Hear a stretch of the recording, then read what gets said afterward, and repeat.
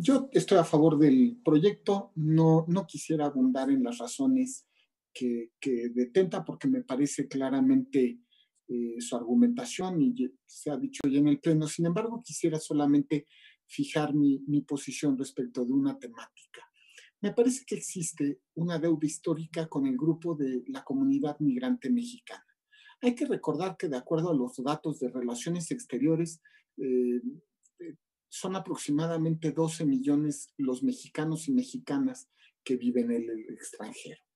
Ahora, hay que hacer notar que en la última elección federal solo votaron 18 mil personas a través de voto en el extranjero. ¿Qué significa o qué evidencian estas dos cifras? Que el sistema puede mejorar y que debe mejorar de tal manera que la comunidad migrante en el extranjero pueda efectivamente ejercitar sus derechos. Me parece justamente que la regulación del voto activo en sedes diplomáticas va en ese sentido. Y hay que recordar que hay varios países, inclusive de nuestro entorno, que tienen justamente esta posibilidad. Por ejemplo, Brasil, Argentina, Colombia y, bueno, países de otras, de otras latitudes como es Francia, Croacia, Israel, Islandia, Costa de Marfil, etc.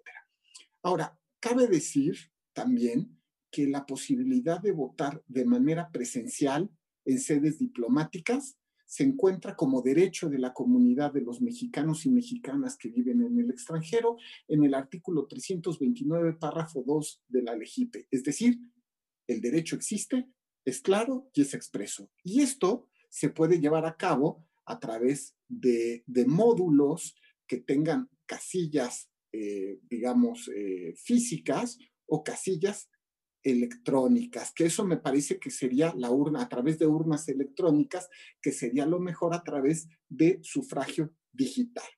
Y yo haría algo más evidente en torno al proyecto. Lo que el proyecto establece es que exista una prueba piloto, al menos, digamos, al menos una prueba piloto para el 2024. Es decir, este derecho para la comunidad migrante tampoco se está estableciendo de manera inmediata a la siguiente elección, sino que justamente se, se, le, se compele al INE cumplimiento de la obligación legal y a desarrollar una política, pero también en los términos razonables que lo permitan las condiciones específicas. Eso es, a mí estas razones son las que me convencen plenamente para votar con el proyecto. Gracias.